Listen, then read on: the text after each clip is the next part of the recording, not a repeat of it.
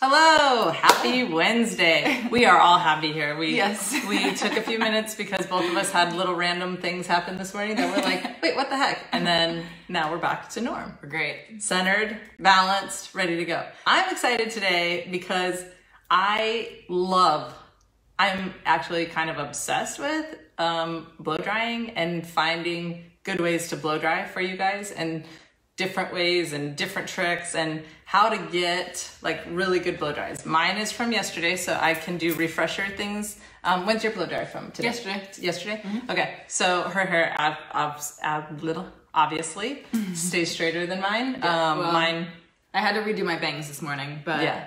that's about it. that's how it does. That's is how it does. goes. I'm imagining that, you know, um, dry bars and different blow dry bars are either closed or hard to get to or you have to wear a face mask for them. Yeah. And so I'm thinking a lot of people are probably blow drying more at home or leaving your hair more natural and just looking for shortcuts. So if that's you and you have questions, please send them our way. Um, otherwise, I am going to just start with things that I think would help you. And then if you have any, you know, just um, pipe in whenever you Yeah. want. Well, I'm in. actually glad that you're doing this because on the opposite end of the spectrum of you, I hate blow drying. So I'm excited to learn about your tips and see if I can apply them to myself as well. All right, perfect. So I'm going to teach you, I've, I come up with a couple new shortcuts that I think are really helpful and beneficial to people. Okay, let me rephrase that. I don't like blow drying. I like perfecting a blow dry so that I have to do it as least as possible. So that's really, That's what I need though. Yeah, that's that really- way I can at least enjoy and know that it's gonna last. that is my skill set. That's my skill set is just studying it and figuring out like how can I make this faster, easier, less movement, whatever I can do. One of my favorite things that I've recently learned is I always blow dry on low, and um, it's because I really like to have control over each piece and control it and put it exactly where I want.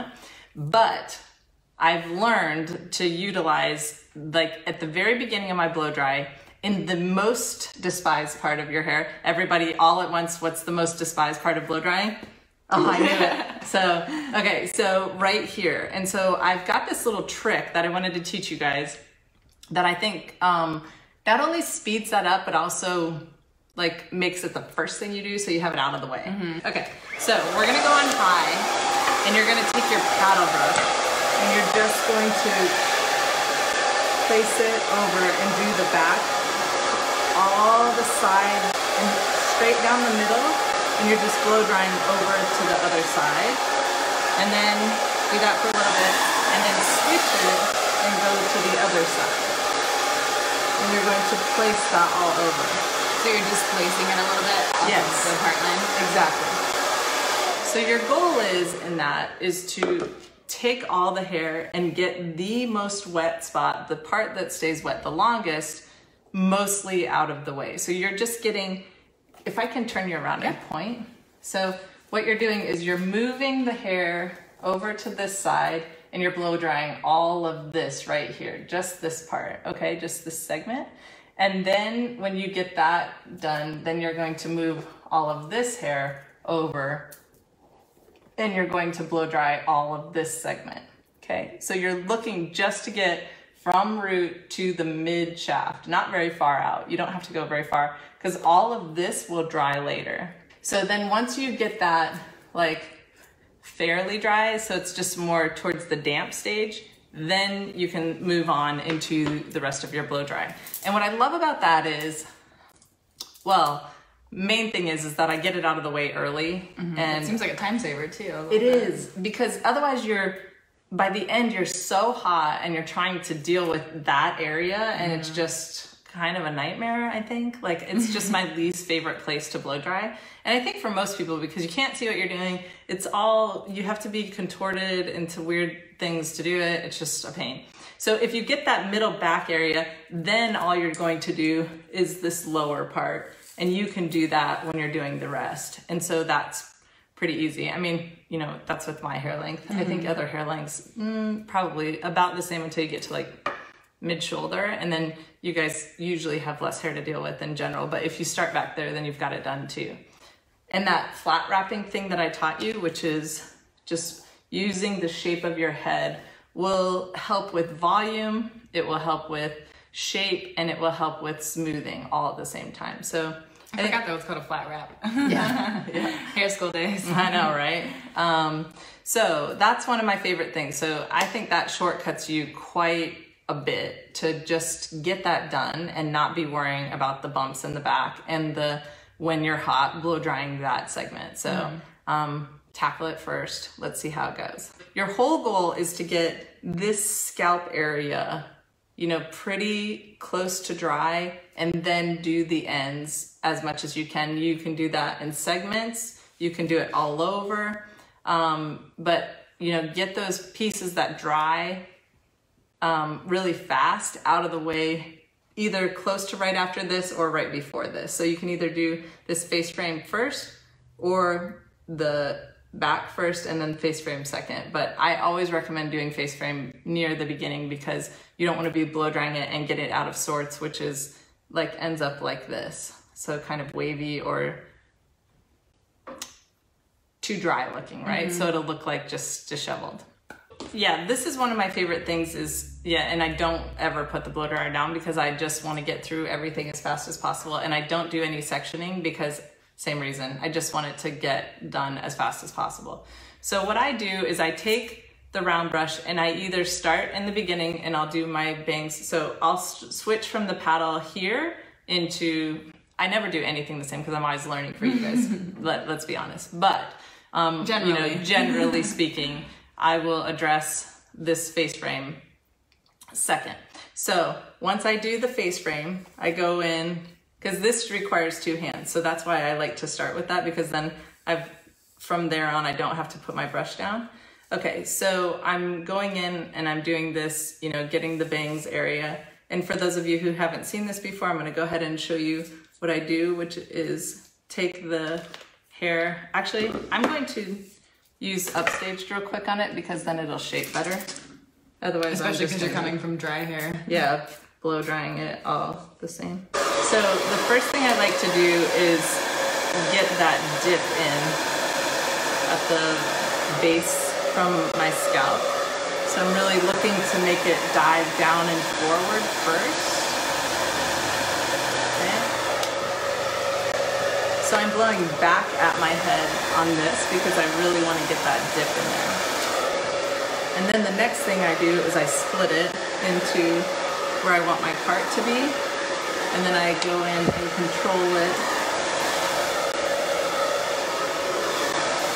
by shaping it exactly how I want. So you can see I want, you can almost see the shape I want just by how I'm holding it. Do you see that like little rounded edge? So that's what I'm going for. And my bangs are getting longer now, so they might create a curl instead of just that dip in the wings. Bend, yeah. yeah. which I meant to bring my shears today and really do that. So you can see how different that looks just by stretching and putting it right into place. And then I really want to get my ends under control right here, so I'm just going back and making sure they're shaped like this, and then just lay it down. Okay. You can see how much order that brings to just make the whole style come together so much faster. So that's like the quickest trick. Like if your hair is frizzy, if your hair is out of control, if you just control this little face frame area, you'd be shocked at how mm-hmm. much that does for your that's style. Crazy. Yeah, especially you, right? Like oh, you yeah. probably only blow dry this little yep. segment, right? Yeah. The rest of my hair can look crazy and it doesn't really matter as long as this little front area looks pretty decent. Yeah, exactly. Okay, so um, Stephanie wants to know how do you stop the flyaways when drying? What I really want to do is make sure my airflow is always pointing down, not up, like up at away from it, unless my brush is going up away, right? So you want to go down towards the ground because that's laying the cuticle down and not pushing the hair back up against. See how that does mm-hmm. that? Creates flyaways right away. Yeah. So you're looking to control those. So you want to go either forward or down. The main thing is, is you want to be pointing at the bottom of the hair strand, wherever that is. If it's forward towards your face, you want to be pointing because then you're working with the cuticle. So if I'm looking for just straight, I'm going to look to stretch the hair.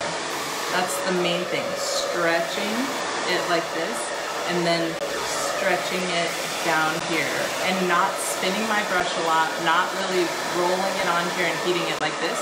You're looking to just create the stretch back here and right after where the where the airflow is. You just want straight and stretch.